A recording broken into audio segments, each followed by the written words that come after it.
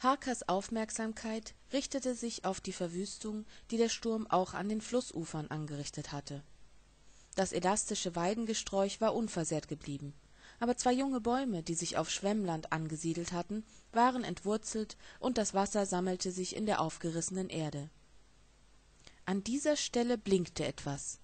Haka fiel das auf, und da er Zeit hatte, ritt er hin, um zu prüfen, was denn hier die milchig blassen Sonnenstrahlen fing und zurückwarf. Er schaute vom Pferd herunter auf den ungewöhnlich glänzenden Gegenstand. Es schien ein kleiner Kiesel zu sein, aber er schimmerte gelb-rötlich, viel schöner als jeder andere, und Haka glitt von dem Pferd, das er sattellos ritt, und bückte sich, um den Fund näher zu betrachten. Es schien wirklich nichts weiter zu sein als ein ungewöhnlicher Stein, den das Wasser früher einmal mitgeführt, dann mit Sand und Erde bedeckt hatte und der jetzt unter den aufgerissenen Wurzeln wieder zutage gekommen war. Haka wog ihn in der Hand und steckte ihn dann in einen Beutel am Gürtel, um ihn als Erinnerung mitzunehmen. Von dem Wert und der Bedeutung eines seines Fundes hatte er noch keine Ahnung.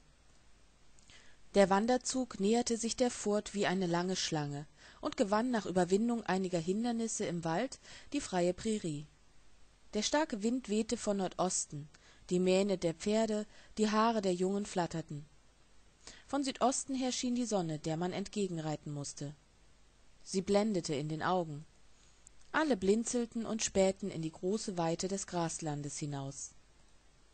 Am ersten Tag bewegte sich der Zug noch durch das allen bekannte Gelände. Vom Dorf aus hatte man oft Streifzüge in die welligen Wiesen unternommen, um nach Büffelherden Ausschau zu halten. An diesem ersten Tage konnte auch kaum eine Gefahr drohen, denn der Zug befand sich noch in den Jagdgründen, die unbestrittenes Revier der mächtigen Dakota-Stämme waren. Das Wetter hellte sich gegen Mittag zusehends auf. Die milchige Atmosphäre wurde kristallklar und der Nordostwind milderte sich zu einem Luftzug, der mit den vergilbten, nassen Gräsern spielte Haka bedauerte, dass die Präriehunde, diese kleinen Nagetiere, klug genug waren, um immer rechtzeitig in ihren Erdlöchern zu verschwinden, wenn der Wanderzug sich ihrem Bau näherte. Er kam nicht dazu, den Pfeil auf sie anzulegen. Die Kinder in den Rutschen ärgerten sich, dass die langen Schweife der Pferde ihnen immer wieder über das Gesicht schlugen.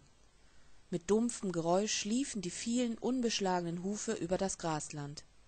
Eine breite Fährte, Tage, ja wochenlang lesbar, blieb hinter dem Wanderzug zurück. Hin und wieder dachte Haka noch an die Höhle am Waldhang, die nun schon weit hinter den Wandernden zurückgeblieben war. Niemand im Wanderzug konnte wissen oder auch nur ahnen, was jetzt bei der Höhle und im Walde vorging. Die Bärenbande wanderte bis zum Abend. Da sich der Aufbruch am Morgen durch den Sturm verzögert hatte, war man bis Sonnenuntergang nicht mehr als fünfunddreißig Kilometer vorangekommen. Die Krieger wählten einen möglichst praktischen Rastplatz. Rechter Hand erstreckte sich eine Bodenwelle, deren Hang sich zu einem Gewässer hin abflachte.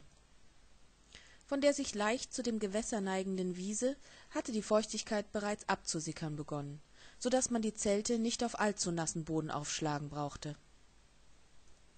Der kleine Präriebach löschte den Durst von Mensch und Tier.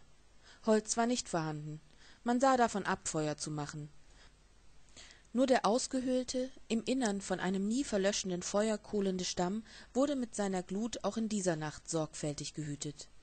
Alte männer hatten ihn auf der wanderung mitgetragen. Es war seit unvordenklicher zeit sitte das wertvolle feuer das fast wie ein heiligtum gehalten wurde auf diese mühsame weise mitzuführen die rutschen wurden abgehängt und die zelte aufgeschlagen. Wie die anderen so schlug auch die witwe des weißen büffels das gewohnte zelt auf.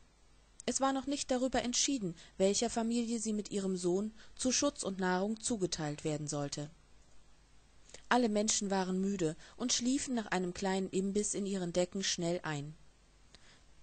Die pferde knabberten noch an halb verfaultem wintergras und suchten die ersten grünen spitzen die aus dem boden kamen die hundemeute hatte sich friedlich zusammengefunden. Die tiere lagen dicht beieinander. Einer wärmte den anderen. Der himmel blieb klar und obgleich der wind sich gelegt hatte war es in der nacht bitterkalt einem großen meere gleich lief die prärie in wellen bis zum fernen horizont. Die stunden vergingen. Es war schon weit nach mitternacht als haka auffuhr. Ein heller durchdringender ruf hatte ihn geweckt der kriegsruf war es nicht gewesen. Den kriegsruf kannte jedes kind im traume und im schlafe. So oft wurde das schnelle erwachen auf diesen ruf hin das aufspringen zu den waffen greifen geübt. Der kriegsruf war es also nicht gewesen aber ein warnruf. Haka trug wie der vater das messer in der scheide an einer schnur um den hals. Er hatte die waffe heute in der nacht nicht abgelegt bogen und pfeile hatte er sich neben das lager geordnet und als er jetzt aufsprang hielt er sie auch schon in der hand. Draußen war unruhe. Die hunde jaulten zornig und ängstlich. Haka hörte das gedränge und das stampfen der pferdeherde und lief aus dem tipi matutaupas hengst der vor dem zelte angepflockt war gebärdete sich wie toll und hätte sich gerne losgerissen.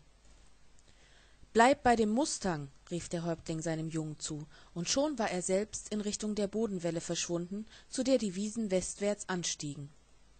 Eine anzahl männer folgte ihm. Haka erkannte sonnenregen und einige junge burschen darunter. Und er war sehr unzufrieden dass er zurückbleiben und das pferd beim zelte hüten sollte. Aber er musste gehorchen. Aus dem verhalten der pferde der hunde und der männer schloss haka dass sich hungrige wölfe herangeschlichen haben mussten es konnten nicht die kleinen scheuen kojoten sein mit denen hätte die hundemeute kurzen prozeß gemacht. Angst hatten die halbwilden hunde nur vor den großen grauweißen präriewölfen. Haka versuchte den mustang des vaters an dem ledernen zügel zu halten der um den unterkiefer des tieres befestigt war aber die aufregung des hengstes der sich als leittier der herde fühlte war derart dass haka weder pflock noch zügel traute und sich schnell auf den rücken des tieres schwang um wenigstens dabei zu sein wenn es ausbrach um es noch lenken zu können. Reiten lernten die dakota-jungen vom vierten jahre an.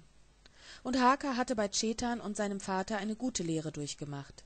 Jetzt mit elf jahren war er schon imstande sich auf dem rücken eines wild eingefangenen tieres zu halten er kannte den charakter des kräftigen und entschlossenen mustangs auf dem er jetzt saß und verstand seine regungen. Dem tier musste zumute sein wie einem gefesselten krieger wenn frauen und kinder angegriffen wurden.